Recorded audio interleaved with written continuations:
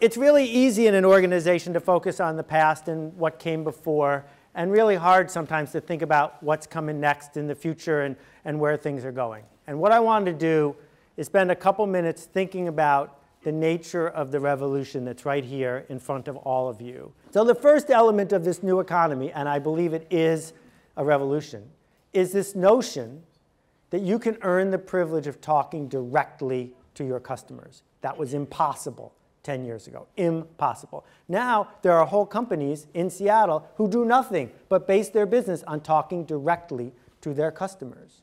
And so the big question here is, are you going to be able to earn this asset? The privilege, not the right, but the privilege of delivering personal, anticipated, and relevant messages to people who want to get them.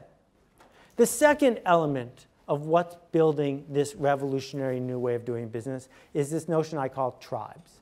A tribe is a group of people connected with a culture, with a language, with a goal, with a leader, a group of people who want to go somewhere. What happens is there are passionate groups finding each other and connecting with each other like never before. This notion of marketing being advertising is changing.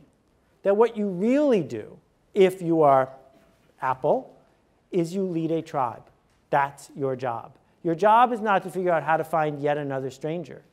Your job is to figure out how to make a product for the ones you've already got. So this fabled job title does not stand for Chief Marketing Officer.